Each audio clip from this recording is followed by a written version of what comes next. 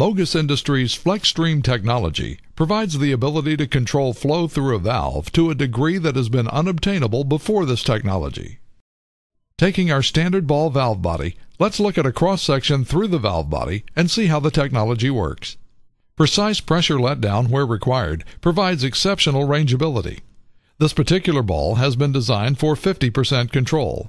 Looking through the downstream side of the valve, several of these individual outlet holes are revealed.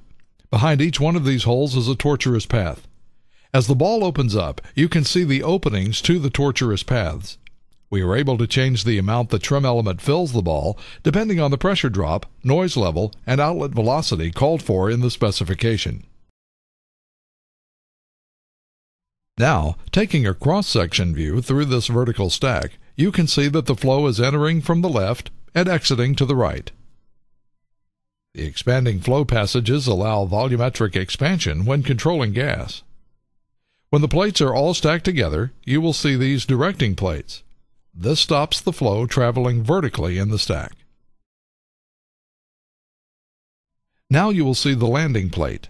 As the flow comes in, it begins the tortuous path, turning 90 degrees in a repeated fashion through the plate.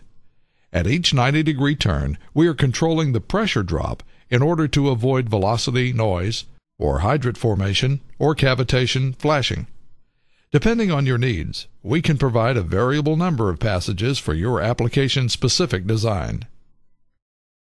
We can put in anywhere from 2 to 36 turns in the flow stream. This multidimensional flow provides higher efficiency than traditional drilled holes.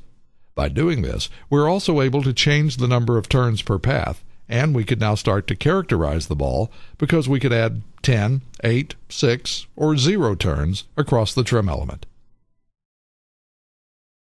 As we begin to turn the stem and operate the ball, notice the speed of the incoming flow from the left is reduced as it travels through the tortuous path to the downstream side of the ball on the right.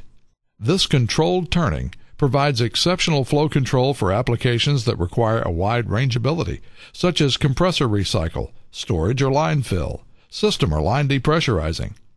Remember, this valve was designed at 50%. However, trim elements can be from 10% to 100%.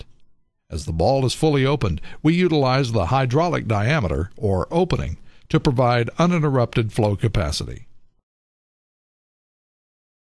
FlexStream rotary technology provides fluid control by enabling the precise control of pressure with a proven methodology and adaptability that provides exceptional high rangeability and superior control.